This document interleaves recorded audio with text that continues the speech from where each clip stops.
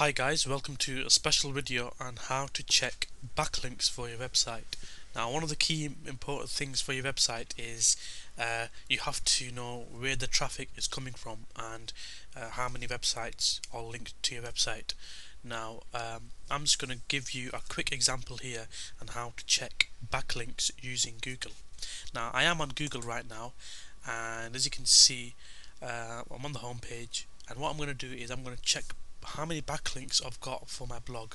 So I'm going to type in the word links and I'm going to type in a colon and then I'm going to type in my website imranasim.com this is a blog. Okay as you can see according to Google I've got just over 948 backlinks backlinks for my website. So this is pretty good uh, considering uh, this tool is you know it's absolutely free to use. You don't have to download any software. And let me just scroll down. Backlinks for my website. Um, so every link that every link this this is on here is sort of related in some way to my website. So they're all linking uh, to my website. I mean I've, I've got a couple of articles as well.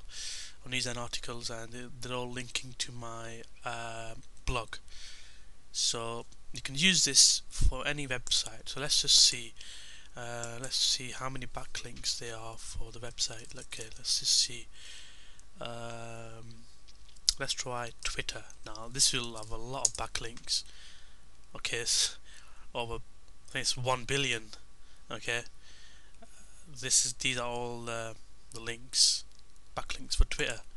As you can see this is sort of a rough estimation. It's not it's not an exact estimation of the number of backlinks for your website, which is sort of a rough estimation. And you can check this for any website, any blog, and it just gives you a really good idea on how many websites are linking to your blog. Okay, hope you enjoyed this quick video, and I hope you can check how many backlinks you've got for your website or your blog.